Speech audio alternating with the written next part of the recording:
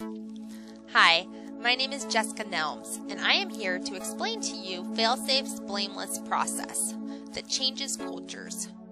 Today, we live in a fast paced world, as if we were robots trying to keep up with the demands of everyday life. It is as if we have toggled the on switch to the fast paced mode to life, and it is now stuck. Before we begin, I need you to think, for we are a thinking method. We wonder why people don't speak up. When something bad happens, people know why, and they feel horrible about the event. Even their peers sometimes make things worse than they need to be. So again, I wonder why people don't speak up when they know something is wrong or that they did something out of procedure. Well, people are scared. Companies have piles of procedures and paperwork to keep them safe, but people do not have this, and this is not okay. It should be unacceptable. Our job is to dig deep and understand. So, how do we get people to talk? Here we go. We prefer to catch events when they are small, before they cause tragic loss. But right now, I am going to briefly explain to you how we handle the big events. So the big event happens. The company goes to their call list providing three outside evidence gatherers that will not intermingle to prevent bias against the investigation. Each evidence team will gather evidence in one of three categories people, physical, and paper. We reference this as the three P's. While gathering evidence, the goal is to not let your assumptions lead you, but let the evidence guide you by jumping into the evidence stream and seeing where it goes.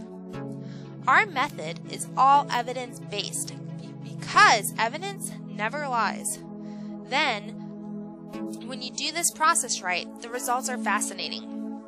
All of the evidence is gathered, and each team separately develops their final conclusion on the physical causes.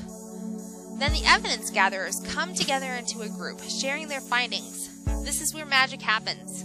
Three vectors are formed, and the physical causes and human causes are now made apparent. It is here where you are able to identify the people involved in the incident, the stakeholders. Now, this is where I want you to pay very close attention. We gather these stakeholders and put them into a stakeholder meeting. This meeting is two days in length, but divided into three sections. This meeting is crucial because this is where people change. On the first day, the evidence is presented to the stakeholders just as the evidence was presented to the three forms of evidence gatherers, the three Ps. There are so many interesting dialogues to talk about what, with what happens during these stakeholder meetings, especially since it's a no blame safe zone. But there is no way I can do that in this video. So for now, let me ask you something. Can you honestly tell me that if someone showed you evidence of something you personally did, you'd be able to deny it? The very least, the evidence would make you think. This is key. After the stakeholders have viewed the evidence, they are the only ones allowed to determine the physical and human causes. They are the only ones allowed to write themselves up and determine smart action items. I need you to realize that the evidence gatherers never told them their conclusions. They just showed the evidence. Therefore, it is now time for reflection. The stakeholders must answer two important questions. What is it about the way we are that contributed to the event and what is it about the way I am that contributed to the event?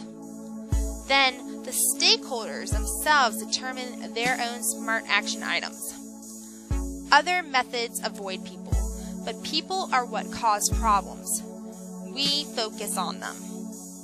Designing logic trees, determining only system causes, and blaming things on gross negligence are just going to give you more problems.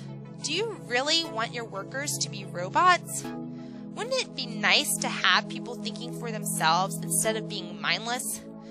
We are becoming a robotic society, people. Let's get off that path. I want you to think about your kids at home. Would you want them to develop logic trees for their problems?